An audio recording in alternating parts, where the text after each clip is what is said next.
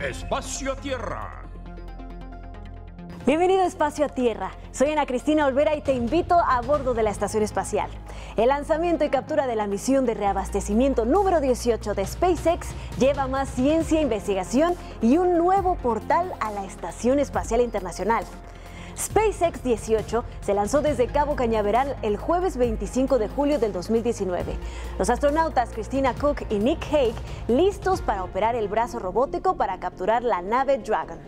Dragon lleva más de 2.000 kilos de carga, incluyendo suministros, repuestos importantes, equipo para la investigación en roedores, así como docenas de investigaciones en biología, física y ciencia de materiales.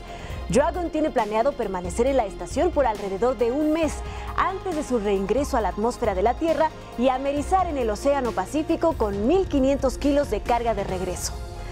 Una de las principales cargas útiles de la misión 18 de SpaceX es el adaptador de acoplamiento internacional 3 o IDA-3 por sus siglas en inglés.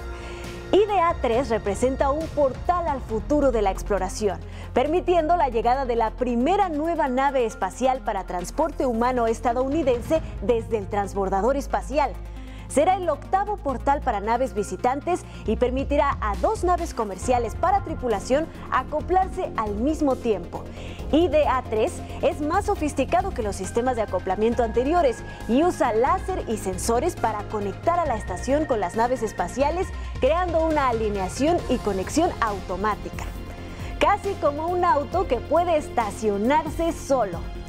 El nuevo puerto de acoplamiento será instalado con una combinación de operaciones robóticas controladas desde la Tierra y una caminata espacial programada para el mes de agosto del 2019.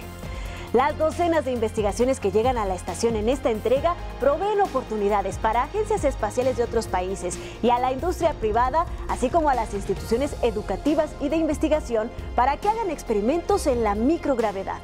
Algunas de las destacadas incluyen la investigación de biorrocas, que examinará la interacción entre los microbios y las rocas en la microgravedad, así como cambios físicos y genéticos en los microbios. Esta información podría eventualmente ayudar a los exploradores de la Luna o Marte. La instalación de biofabricación proveerá una plataforma para imprimir tejidos biológicos. Este podría ser un paso importante en la impresión 3D de órganos humanos útiles. También se investigarán los rollos de sílice en el espacio para comprender mejor su estructura y propiedades para mejorar la fabricación de llantas y su rendimiento. Todas las investigaciones en la misión 18 de SpaceX representan descubrimientos significativos para completar el objetivo de explorar la Luna y Marte. Asegúrate de sintonizar NASA TV para todas las actualizaciones y coberturas de lo que sucede en la estación espacial. Y sigue enviando tus preguntas con el hashtag Espacio a Tierra. Nos vemos la próxima.